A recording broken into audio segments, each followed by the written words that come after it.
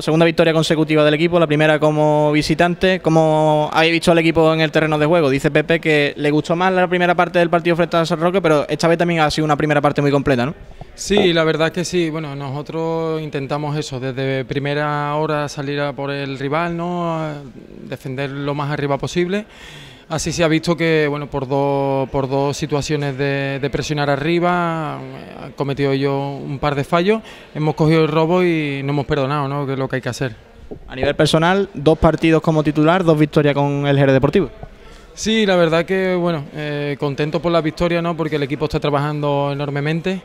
Y personalmente pues ya tenía ganas, ¿no? Después de una pretemporada dura, donde bueno, el, el es el que decide y, decidió poner a otro compañero delante, me tocaba esperar en mi momento y bueno, así ha sido, ¿no? Gracias a Dios el trabajo es lo que al final te da la oportunidad, ¿no? ¿Cómo has visto el penalti?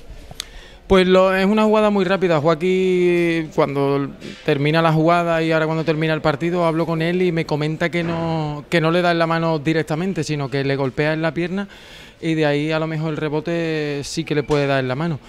Yo creo que eso no es penalti. De hecho, si viene la mano viene de, de, un rebote no es penalti, pero bueno, el árbitro ha decidido así, gracias a Dios, nosotros hemos aguantado el resultado y nos llevamos los tres puntos que era nuestro objetivo, ¿no?